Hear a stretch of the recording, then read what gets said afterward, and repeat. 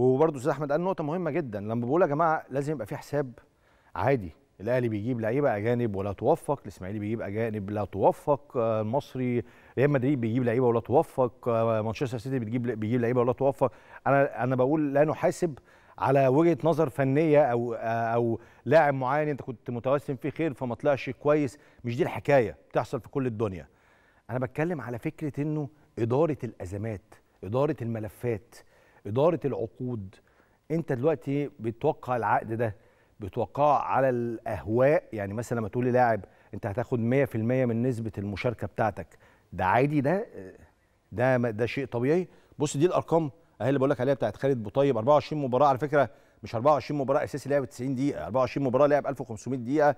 يعني مش كل الدقايق يعني. مسجل خمس أهداف وصانع هدفين.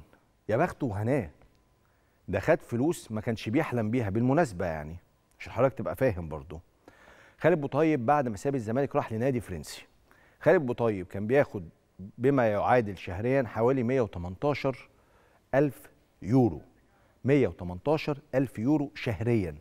تمام؟ لما ساب الزمالك وراح نادي فرنسي كان بياخد ما يعادل شهريا 18 ألف يورو. أنت متخيل؟ انت متخيل الفرق قد إيه؟ فرق 100 ألف يورو يعني. فانت كنت جاي تنبسط معانا هنا.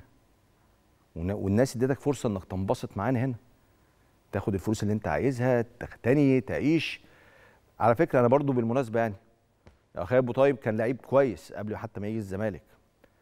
لا لم يوفق. آه، ما أداش بشكل كويس. أي شيء عادي بتحصل مع كل اللعيبة. أنا لا أهاجم خالد أبو طيب بالمناسبة. راجل دور على حقه وعرف ياخد حقه. براحتك.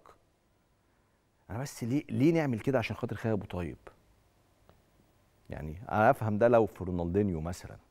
أبو طيب؟ ماشي دي حكاية.